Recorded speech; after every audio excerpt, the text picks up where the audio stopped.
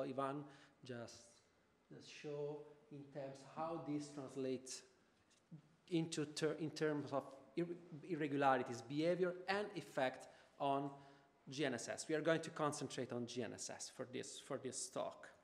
So first of all, we will, I like to um, uh, take what Tobias told you yesterday and extend a little bit just to tell you that GNSS are excellent, pro provide an excellent probe, probing of the ionosphere, actually can rely on several constellations. The global one are GPS, uh, GLONASS, the Russian one, the European one, Galileo, and Beidou. And the good thing is that they cross entirely the ionosphere, providing, um, probing all the layers. Of course, we don't resolve the altitude. So typically what we deal with GNSS, we, we are able to reconstruct with GNSS is a kind of squeezing of the ionosphere on a layer. Usually it's 350 kilometers, but it varies a lot as the, the actual layer of the ionosphere. Uh, it's not a layer, of course. And most of all, it is the, um, the ionosphere is the most drama poses the most dramatic threats to GNSS, particularly in the error budget, is, it presents the largest one.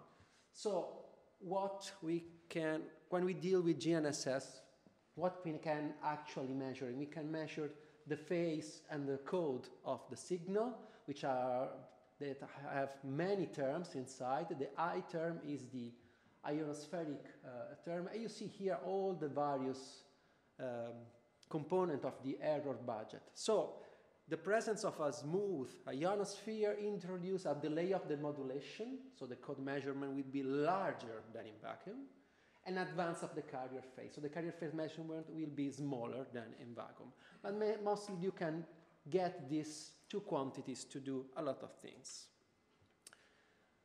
Usually we use combination of GNSS measurements. This one is the ionosphere free linear combination. We deal just with multi-frequency because um, observation. So because GNSS satellites provide emit several uh, frequencies, at least two or three, and by combining the, the frequency in, this, in the so-called ionosphere-free linear combination, this is, this, this is the frequency of the first uh, frequency, this is the phase of the first, first, first frequency, and then the relative uh, of the second one.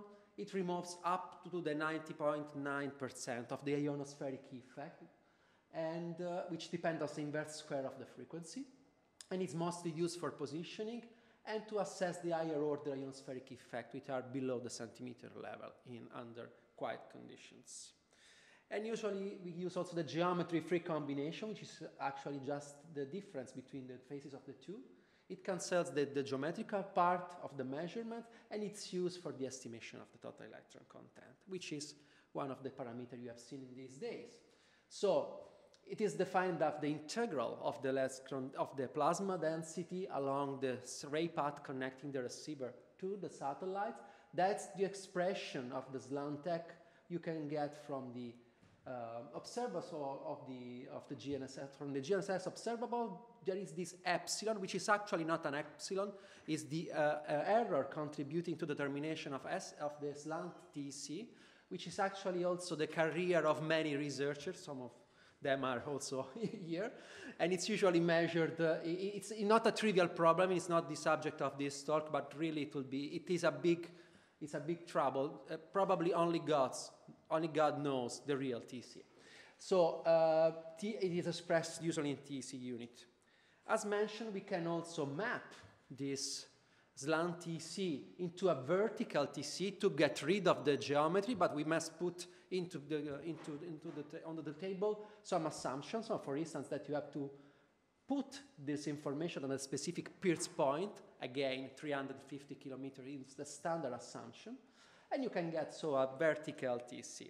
And you can even use the, the TEC to make a time derivative. I already introduced something like that yesterday to obtain the so-called rate of TEC change, which is quite often used to investigate variation fluctuations of TEC.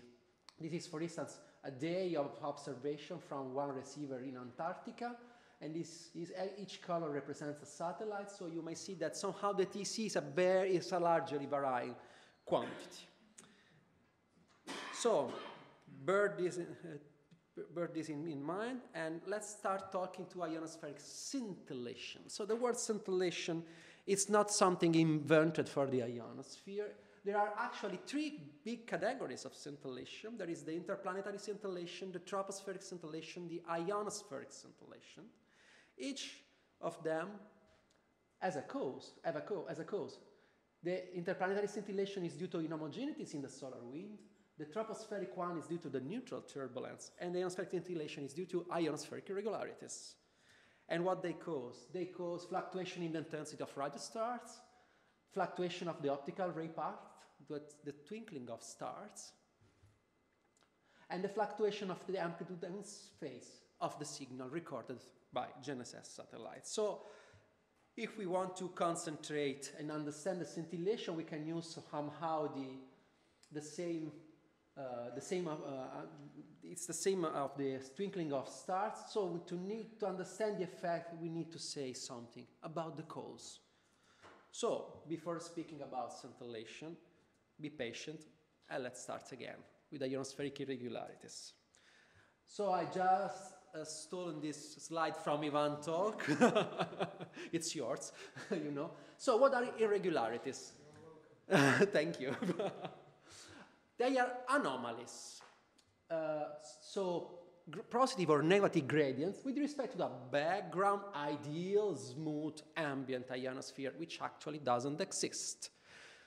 Uh, is there a quiet ionosphere behaving in a quiet way? I don't know, probably not. So, but we need to think in terms of variations, gradients of plus of density with respect or passage of gradients, gradients of density, spatial temporal gradients of density that are, as I mentioned yesterday, they vary on a large scale size ranges. So they go from the uh, centimeter level up to the 1000 kilometer uh, scale. And remember that the scale is not an absolute scale. In this case, I will talk about irregularities from the GNSS perspective. So there are small scales for GNSS, medium scale for GNSS, and large scale for GNSS. Small scale irregularities are the problem for GNSS. I will, I will show you before.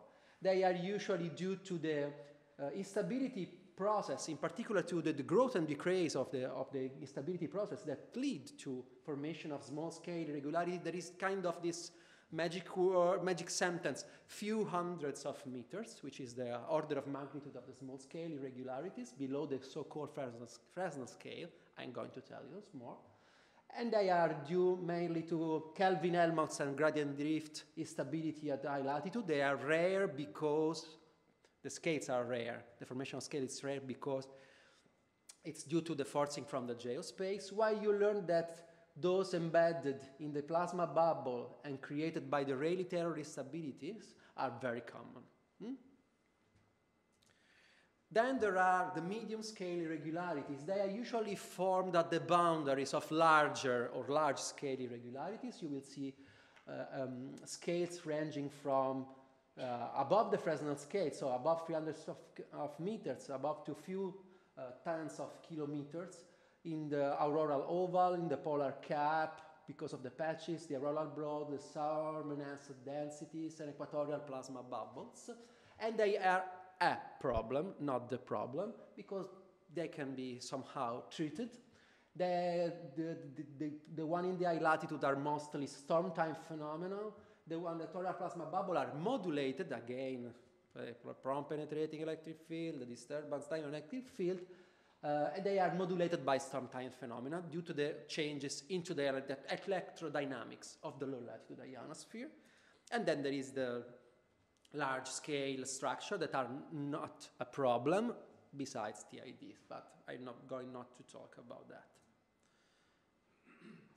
So, Ionospheric irregularities are variations of the plasma density. So your signal is, undergoes through refraction because it passes from uh, different zone that may have uh, different uh, density, so it change the index, the, the, the, change, the um, refractive index changes at the boundary of between the, of the irregularity. It, it is characterized by the fact that the refraction is covered by the full ionospheric spectrum of irregularities, at least from the large, from the large to the small one. It affects only the phase, and the physical mechanism is a phase mixing. So the, the phase of the signal lights, the, the received signal are mixed at ground. And then that's the problem. The problem is the diffraction, because it affects scales up to the Fresnel scale. I'm going to tell you, don't worry. It affects both amplitude and phase, and the physical mechanism is decorrelation and interference. So what is the Fresnel scale? The Fresnel scale is an elliptical zone in the free space which radio waves travel directly from transmission to reception without significant alteration. So you can determine, if you assume that your ionosphere is a thin layer, an irregular layer, but located in a thin, on a, a thin, uh, as a thin layer, you may reconstruct with some calculation this Fresnel scale, which is actually the square root of the frequency of the wavelength of your probing signal and the distance from the face, from the screen, so from the irregularity layer. And if you consider the fact that the wavelength of GPS satellite is about 20 centimeter, and that you can assume in the vertical, in the hover propagation, 315 kilometer, the order of magnitude is about few hundred of meters. If diffraction occur, if the irregularities as a typical scale size, which is below this Fresnel scale, okay?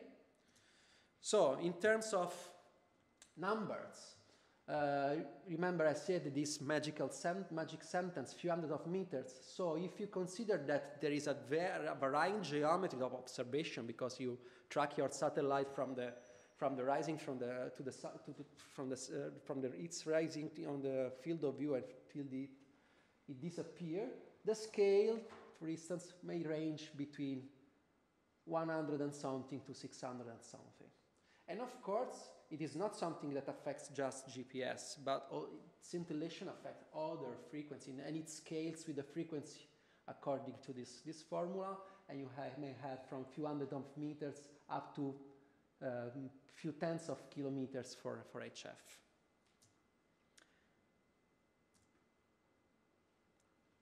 How to measure scintillation? So ionospheric irregularities causes fluctuations due to refraction and diffraction of your, on your signal. You need a way to measure. To measure scintillation, we use dedicated receivers. Uh, this is the receipt for, uh, for uh, a scintillation monitor receiver. High sampling frequency, I'm going to show you why. Low noise oscillator, because you want to have very accurate measurements of the phase. Uh, a stable clock for the same reason a firmware able to provide the scintillation indices that I'm going to introduce uh, in, in real time. And uh, these are the various generations that I use, at, at least in my institute, have been used since 2003 to characterize this, you know, the scintillation. To monitor scintillation, we use these two indices, those two indices, the amplitude scintillation index and the phase scintillation index. They are statistical index, usually retrieved every one minute, and they are they monitor the standard deviation of the intensity and phase of the signal. Usually one minute is selected because it's a reasonable time to see meaningful changes in the, in the signals due to scintillation. So you need 50 years to have statistical, statistically meaningful indices. For instance, in one minute you have 3,000 samples. Um, uh, if you sample your signal 20, uh, every 20 milliseconds, 50 years. And typically what you have is a raw amplitude, and you derive these indices. Increases in the signals, uh, in, the, in the index means that there is a scintillation going on.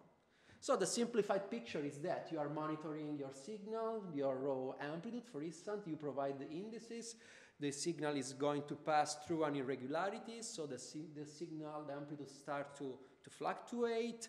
The worst, is the worst case is this, where you have a mixing of scattering, the, the diffraction going on, and then the satellites are just, are more than one, and the, the net effect could be the reduced accuracy of positioning and the loss of lock in, in the worst cases. So you, it seems to your receiver that the receiver that the satellite is not there anymore. This is a typical time profile of scintillation indices. This is again one of the receiver we have in Concordia. This is a model at the auroral oval just to show the location of this receiver, which is well into the polar cap. Uh, this is the September 2017 storm. This is the amplitude scintillation index S4. This is the phase scintillation index uh, sigma phi. And you may see that there are similarities and differences. So those indices react to the formation of irregularities in a different way. Usually, if you don't treat your phase scintillation index in the way I'm going to show you, you will have more scintillation, more enhancement of the sigma phi uh, with respect to S4 at high latitude. But some, is, uh, some uh, activity well corresponds. So in, few in a few words, you have two indices. One measure the variation in the amplitude, which is affected just by diffraction, and one measure the effect on the phase, which is affected by both diffraction and refraction. So if you study the two indices together, you may learn about the various phenomena that are concurring in, in, uh, in your picture. We monitor routinely these, these indices through receivers. If you browse the Science Center, you will find, for instance, scintillation indices and total electron content among the data collections and you will be redirected to the electronic space weather atmosphere, which is the data portal maintained by INGV, by my institution, which, are, my institution, which has a section dedicated to scintillation, and where you can find data from all those receivers located all around the world. You may spot that the distribution of these receivers is not, uh, is not random, but I will show you again more. And you can derive a lot of information, but for sure you can derive things like that. So the time profile of the scintillation indices, this is particular, a plasma bubble occurring in the field of view of San Miguel de Tucumán in northern Argentina. So close to the southern crest of the equatorial anomaly. But why they are, scintillation is a, is a concern? Uh, because uh, impact significantly the tracking. The tracking means the capability of keep the track with a specific satellite. On the left, you, will you can see, for instance, it's um, uh, the value, the dependence on the probability of loss of lock, of losing the lock with a satellite with respect to S4 and sigma phi for high latitude and low latitude receivers. You will see that you have the, the probability increases as those indices uh, grow up. And this is also another example. This is for low latitudes separated by the three different constellations. This is the scintillation probability on top and the corresponding probability of cycle slips that are another um, uh, effect that cause um, uh, losses of the lock with the satellite in simple word. So tracking is one issue. So keeping the track with the satellite. Of course, the other issue is the performance of positioning. So GNSS satellites are, are meant to be to provide the precise positioning, and they behave badly under scintillation event. This is, for instance, work published by some Norwegian colleagues. This is uh, phase scintillation index, sigma phi. This is ROTI, which is relative to the ROT and this is the corresponding degradation of the error with some geodetic technique to provide precise positioning. So you see that the, as the phase scintillation index um, increases, also the error increases. And this is also the case, this is high latitude, this is low latitude. This is positioning errors in the east, north, and up direction. Uh, this is Hong Kong, a receiver in Hong Kong. When you don't have scintillation, this is the performance of your, of your position. When you have scintillation, uh, things start to, to get worse. So that's fluctuations is the problem.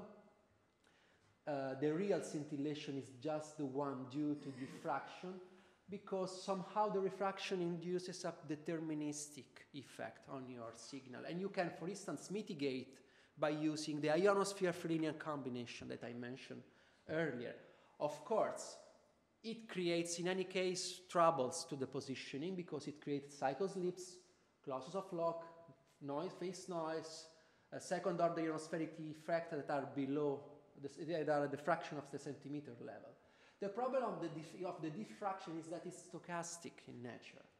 And there are, its mitigation is very, very, very challenging. Actually, there is no solution for scintillation.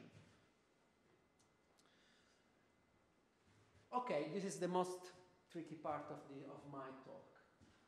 So, this is the power spectral density of the amplitude signal, which is somehow you might think at the integral of the power spectral density of the raw amplitude you measure with your GNSS as the S4. So S4 is proportional, the indices are proportional to the integral of, of this index.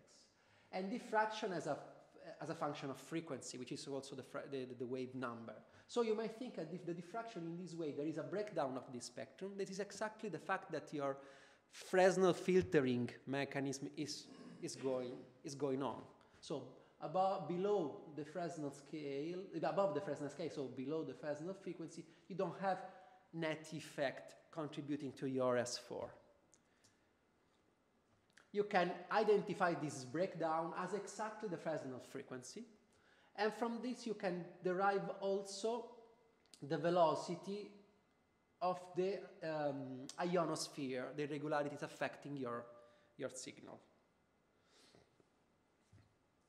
If you consider refraction, refraction is covered all the all the, the full spectrum. Again, the sigma phi is the integral of, the, of this power spectral density, you remember that sigma phi needs to be the trend because the phase of the signal is affected by Doppler because the satellite moves, so the Doppler ch changes as the satellite moves. So somehow you have to decide where to put your cutoff frequency to remove the Doppler effect on your signal.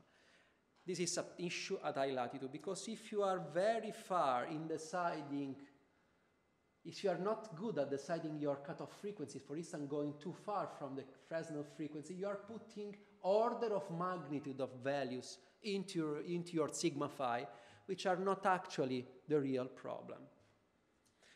So this opened opening the is a recent year a long debate about what is scintillation. Not every fluctuation is scintillation. For instance, this I will ask you, this is a, the detrended phase of of L, on L1, so the first frequency of GPS, is this scintillation? What's your answer? I define scintillation as a fluctuation. Is it a fluctuation? Yes. Is it a scintillation? You don't know. But if you check the, the, the, same thing on the second frequency, it happens the same. If, what if I uh, take into account the ionosphere free linear combination, it completely vanishes. This is not scintillation. This is phase fluctuation, which has an impact on tracking, which has an imp impact on the fact on your capability of receiver, but it's not scintillation. This is deterministic. You can cancel with the ionosphere free linear combination. Is this scintillation? You don't know. You need again to do the ionosphere free linear combination and there are, there are residual fluctuation here. This is scintillation. So somehow you must detrend, decide your cutoff frequency to properly identify the, the, the Fresnel frequency into your phase measurement. And this is an, a paper, we, a couple of papers we published on that about this. If you consider if you proper the trend, if you proper treat your phase measurement with an adaptive cutoff frequency, you exactly get the amount of scintillation that S4 is able to provide. So the amount of scintillation and amplitude and phase is the same. The rest is fluctuation due to larger scales. Uh, the, the reason for that is related to the velocity of the irregularities. That magic number, 0.1 hertz cutoff, which is the standard one, derived from low latitudes. The plasma at low latitude moves at 100 meters per second. At high latitude, you can measure it thanks to the re retrieval of the Fresnel frequency. It's way larger. And this makes the, the use of that standard approach very, very rough. Okay, so it's always like this. You will get sigma, if you want to study scintillation, you will get sigma phi calculated with this cutoff frequency. So please, if you want to do it, be wise in using it. Another proxy for scintillation is the ROTI. ROTI is the standard deviation of ROT on a given time window. This is a, this has, as an historical reason. So typically ROTI is evaluated every five minutes. Why every five minutes? Because it derives from geodetic receiver. So it was born when there was the need to exploit geodetic receiver for ionospheric monitoring purposes. Geodetic receiver were born for other purposes, so they don't need high sampling frequency. So they provide measurement every 30 seconds, 20 hertz, 30 seconds. So if you want to have a statistical index, in five minutes you have 10 values, okay? So somehow the, the, the ROT is able to provide valuable information about flight fluctuation because the geodetic receivers are really spread all over the world. There are thousands of these receivers that are exploited for these, for these monitoring purposes. But the, the, the scale they are able to sample depends on the Nyquist frequency of the ROT sampling. And usually they are about to sample from few to few tenths of kilometer scale. So ROTI is not scintillation. It is very useful because it measures phase fluctuation, but it cannot be easily rescaled to weak scintillation. And this is because you need to know the, the velocity of the irregularities, which is not an easy information to retrieve. This is probably the most famous picture about scintillation. This has been also presented yesterday by, uh, by Tobias. In particular, the left one is the signal fading due to the scintillation in this old paper by uh, Basu et al. And this is a frequency of the GNSS scintillation in a more, how to say, outreach style paper by, um, by Paul Kintner, who passed away some years ago. So, may you recognize why we located the, the instrument in those specific places? Because we would like to be very close to where the scintillation, the bulk of the scintillation occurs. Okay, I'm going towards the end of the story. So I introduced the problem, I conceptualized the problem. Let's go to have some results, mostly from the climatological point of view, because the climatology uh, can reveal a lot of features of those of the scintillation. This is, for instance, is the depend. We are going at low latitudes, so plasma bubble, 99.9% of scintillation there is due to the small scale irregularities forming during the Rayleigh-Taylor instability processes after the post-sunset hours. And this is the dependence of scintillation measured by a network of scintillation receivers covering the South American sector uh, for, uh, for, for one solar cycle. And you see that the formation of plasma bubble or the irregularities of the small scale irregularities embedded into the plasma bubble has a strong dependence on the solar cycle. So the more we are in the in the maximum of the solar cycle, the more frequent is the formation of plasma bubble. Not only, it is also able to depict the double peaked structure of the, of the sunspot number of the solar, solar cycles. Just to prove again the, the fact that they are really um, post-sunset plasma bubble. There is this statistical work. Actually, we didn't publish in a formal way. This what we use for, for, for educational purposes. This is a network of receivers located in Brazil. We concentrate on the data in this box, which is actually, you may recognize here the the magnetic equator, this is the minus 15, minus 20 band around the equator, so this is nicely into the southern crest of the equatorial anomaly. two years of data. This is local time as a function of month. These are the, the, the solar terminator, in this particular the, the, the, the, the sunset. And this is the occurrence of the S4 amplitude scintillation above 0.25, which is the threshold to define moderate to strong scintillation activity. So irregularities form because of plasma bubble, nicely after the sunset. They tend to maximize between uh, October and April, no scintillation even under maximum uh, solar flux, maximum solar flux condition. This is solar maximum. And they can also live until the end, at the beginning of the next day. So they can also be post midnight. Usually pre midnight are plasma bubble forming in your field of view.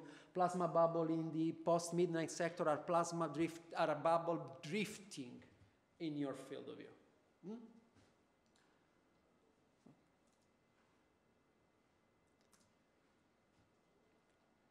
So when, now, where?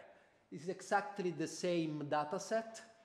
Uh, you may, this is the occurrence in geographic coordinate. This is the uh, minus 15 um, um, isomagnetic contour. Again, this is due to the fact that plasma bubble forms, grow, decay, and the small scale tend to be created when the plasma bubble is, the life of the plasma bubble is quite advanced and they tend to decay and the bulk of the scintillation is located along this band here.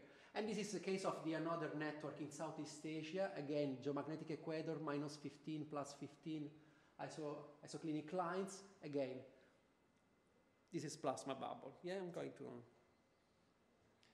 This is the same network. Uh, it's March 2015. March 2015 was the characterized by the St. Patrick Day storm. And this is, it, I have a question for you. This is the local time versus latitude. Again, you can recognize signatures of the, of the northern and southern crest of the equatorial anomaly. I have a question for you. I divided, we divided the period in two, in two pieces. The first part was quiet. The second part was badly disturbed. Which one is the quiet and which one is the disturbed?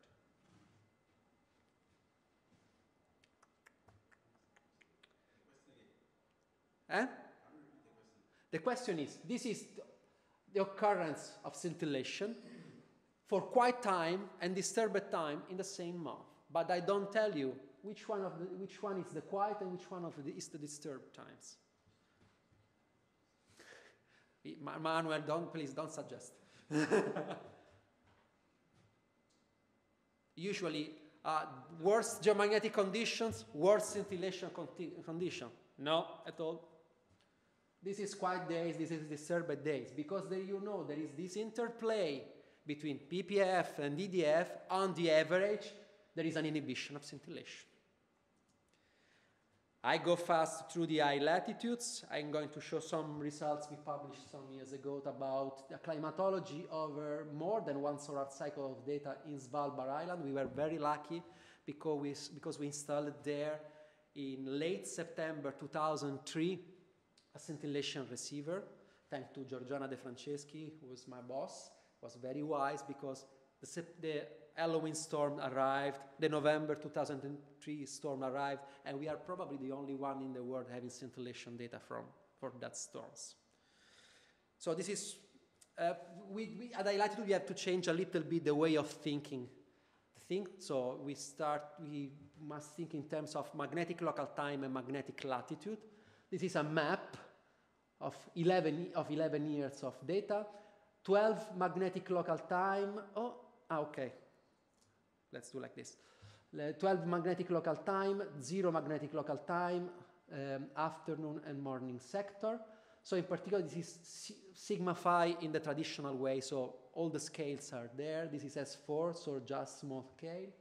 And you see here, for instance, that there is a signature at, at 12 MLT and a signature in the, in the midnight sector. This is due to the fact that there are, there are precipitating particles in the cusp and in the, in the midnight sector. You, the, the black and red lines are the modeled auroral oval. So you will see that this is exactly the signature of the cusp, at the, the point where you have the bulk of the precipitation of particle. That creates medium scale irregularities because you don't see it here in the S4. While you see signature in the midnight sector in the S4, this is the fact that you have the tongue of ionization that migrates into the polar cap and tend to fragmentate because of the Kelvin-Helmholtz instability or gradient drift instabilities and create small-scale structures. Almost finished, uh, Tobias. This is the dependence on the, on the geomagnetic condition, again, sigma phi in the traditional way, and S4 in the traditional, in the traditional way, you see that, for instance, the that undermine or uh, uh, moderate condition, you have the displacement of this cusp signature towards lower latitude. This means that the auroral oval moved toward lower latitude. And you have a very messy situation when the storm is severe. And of course, there are, there are no formation of small scale irregular of small scale irregularities under quiet condition. They actually form uh, the, the, the, large scale, the medium scale form during quiet times, and they tend to, however, to concentrate in the midnight sector because, again, to the, to the instabilities. Last slide. What about mid-latitudes? Are we safe from irregularities? Generally, yes, but there could be some spillover of irregularity from both high and low latitudes.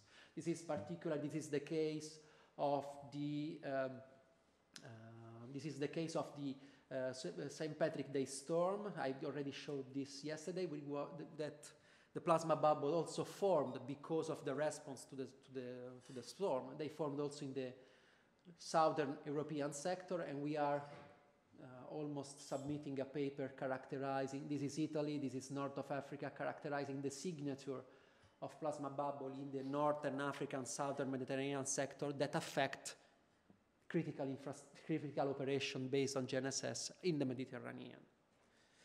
Okay, sorry for the long talk. These are the take-home messages.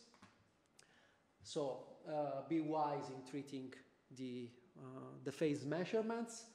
Uh, my, and the um, high latitude are characterized by the formation of irregularities because of the forcing from the geospace. Low latitude are characterized by the plasma bubble in a dramatic way. And mid latitude must be carefully taken into account for what concern the spillover of irregularities. Thank you.